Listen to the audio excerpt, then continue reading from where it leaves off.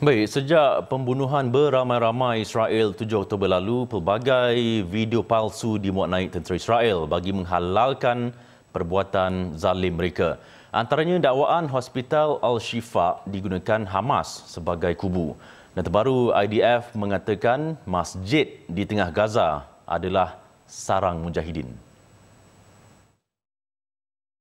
Tentera Israel seperti tidak pernah patah semangat atau serik untuk mengeluarkan visual memburuk-burukkan Hamas. Mereka bagaikan dahaga viral namun apa yang kelihatan adalah cerita lawak. Pada awal pembuktian masjid ini adalah kubu Hamas, tentera Israel menunjukkan senjata dan bahan api yang digunakan Hamas dalam bentuk visual melintang. Mereka turut berdiri di belakang logo Hamas yang bersih tanpa sebarang ada kerosakan walaupun masjid itu teruk dibedil. Bangunan tersebut tampak seperti stor sahaja. Lebih lawak, visual seterusnya dirakam dalam bentuk menegak menampakkan lokasi yang berbeza dari masjid asal. Malah kualiti visual tersebut juga kurang memuaskan. Dalam visual melintang, rakaman dilakukan di kawasan lantai bersimen manakala dalam visual menegak ia dilakonkan di kawasan permaidani atau beralas sejadah. Dan seperti biasa, Israel dan terowong tidak dapat dipisahkan. Kononnya di bawah masjid ini terdapat dapat terowong menuju sarang Hamas tetapi visual yang ditunjukkan hanyalah dari atas tanpa perincian lanjut.